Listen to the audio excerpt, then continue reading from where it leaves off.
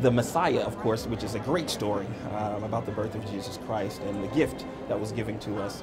Um, but the community, it sets the tone for uh, the season um, of giving. And they always love to hear the Claflin University Concert Choir and the things that we uh, present at Claflin. And so they come out and support it in, in droves, as you can see. Um, so it's a very phenomenal uh, day for us, um, for the university, and for the community of Orangeburg.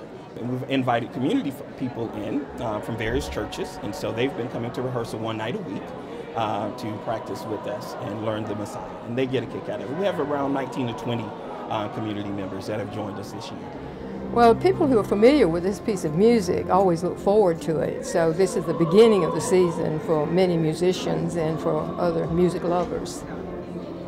The event is special because we get together with the students, and the students here have wonderful voices, and we don't get this opportunity anywhere else, and especially under the direction of Dr. McGee. I'm the bass soloist, um, so I'll be singing two arias.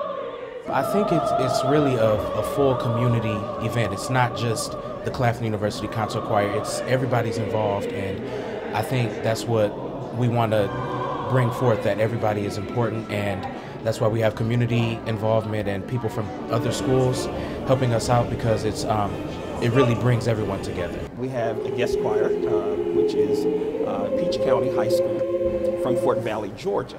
And for the first time ever, we've had, an elementary choir join us um, that will be singing at the beginning. And then we will move right into the Messiah.